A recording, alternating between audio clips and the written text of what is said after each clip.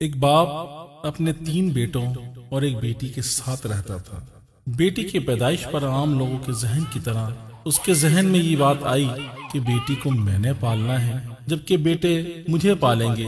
اسی وجہ سے اپنے بیٹوں سے بہت پیار کرتا، تینوں بیٹوں کی تربیت پر خوب خرچہ کیا، خوب پڑھایا، لیکن اپنی بیٹی کی تربیت پر ایسا کچھ نہ کیا۔ یوں ہی سال گزرتے رہے۔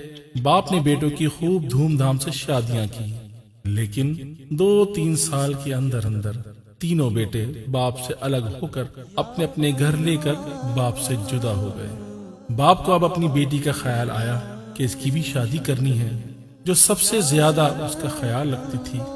باپ نے اس کے لیے جہیز کے ساتھ زیورات تیار کروائے، لیکن بیٹی ہر بار یہ کہہ کر منع کر دیتی کہ میں چلی جاؤں گی تو آپ کا کون خیال رکھے گا؟ ایک مرتبہ اس کا باپ بہت بیمار ہو گیا۔ اسے اسپتال لے جایا گیا۔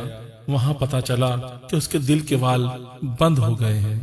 ڈاکٹر نے یہ بھی کہا، اگر دو دن میں آپریشن نہ کیا گیا تو ان کو بچانا بہت مشکل ہو جائے گا۔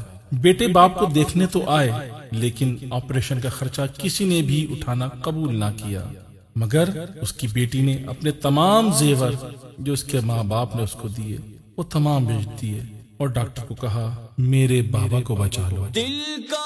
چنانچہ دوسرے دن اس کا آپریشن ہوا۔ اس کی بیٹی نے اس کی جان بچا لی تھی۔ جب اس کے باپ کو پتا چلا کہ اس کی بیٹی نے اس کی جان بچائی ہے، جس کے بارے میں اس نے سوچا تھا کہ اسے مجھے پالنا پڑے گا۔ آج نہ صرف وہ مجھے پال رہی ہے، بلکہ گویا مجھے نئی زندگی بھی دی ہے۔ اپنی بیٹی سے بار بار معافی مانگتا اور شرمندہ ہوتا رہتا۔ بیٹیوں کو بوجھ مت سمجھے کیونکہ بیٹیاں بوجھ نہیں، بلکہ اللہ کی رحمت ہوتی ہیں۔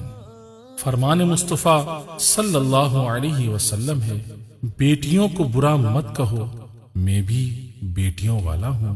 بے شک بیٹیاں تو بہت محبت کرنے والیاں غم گسار اور بہت زیادہ مہربان ہوتی ہیں۔